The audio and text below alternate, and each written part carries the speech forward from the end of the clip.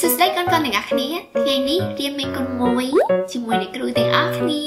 តើកូនកូនថាតាមអ្នកគ្រូទាំងអស់គ្នាណា1គុណនឹង1ស្មើប៉ុន្មានដែរកូនគឺ1យេឥឡូវមួយផ្លែចាកូនកូនឥឡូវយើងទៅបន្តទៀត1គុណនឹង2 ស្មើប៉ុន្មានដែរកូនគឺ2ផ្លែក្រូចពីរផ្លែចឹងយើងទៅបន្តទៀតណាកូន1គុណនឹង3ស្មើប៉ុន្មានដែរកូនចាគឺ3ផ្លែស្វាយ3ផ្លែចាបន្តមកទៀតគឺ1គុណនឹង4ស្មើប៉ុន្មានដែរកូន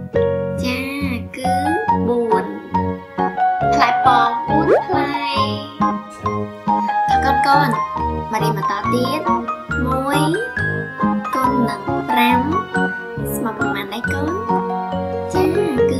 5ផ្លែចេក5ផ្លែ1គុណ6ស្មើប៉ុន្មានដែរកូនគឺ6ផ្លែជម្ពូ6ផ្លែ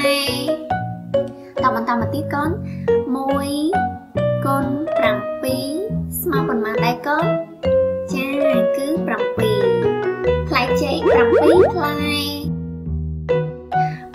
1គុណ8ស្មើប៉ុន្មានដែរកូន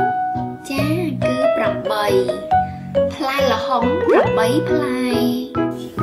បន្តមកទៀតកូន1គុណ9ស្មើប៉ុន្មានដែរកូន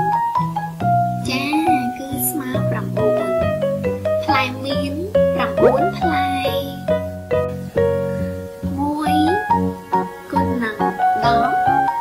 ស្មើប៉ុន្មានដែរកូនចាគឺស្មើ10យេឥឡូវ10ផ្លែអ្នកគ្រូដា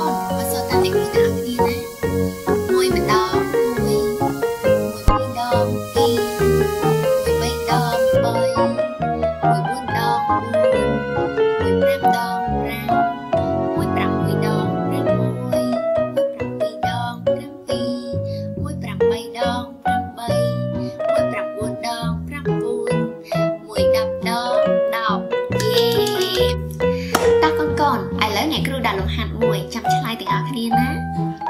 1គុណនឹង2ស្មើប៉ុន្មានដែរកូនប៉ុន្មានដែរកូនចាត្រឹមត្រូវគឺ2ចាជម្រាបលាកូនកូនជួបគ្នានៅវីដេអូបន្តទៀតបាយបាយ